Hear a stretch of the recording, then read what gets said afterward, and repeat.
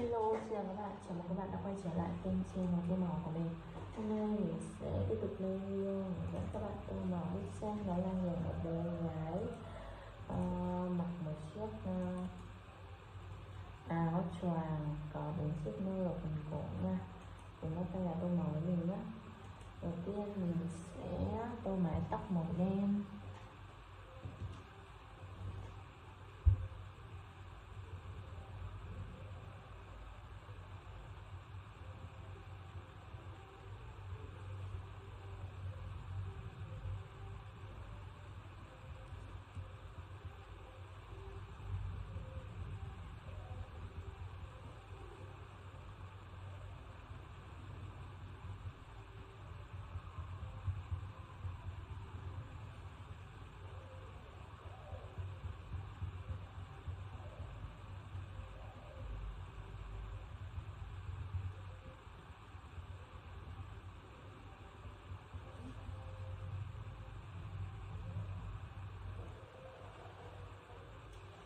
Chiếc nơ và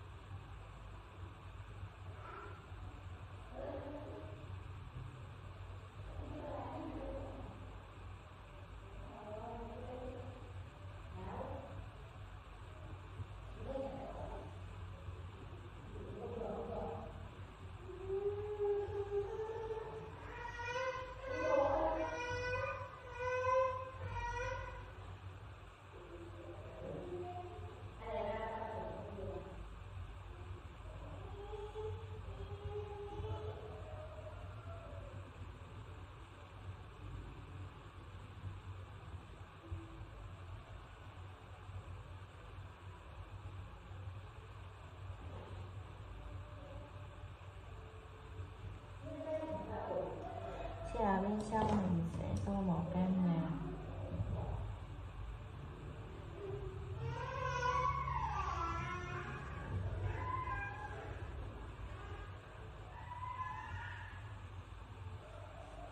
Chiếc quần mình sẽ tô màu tím.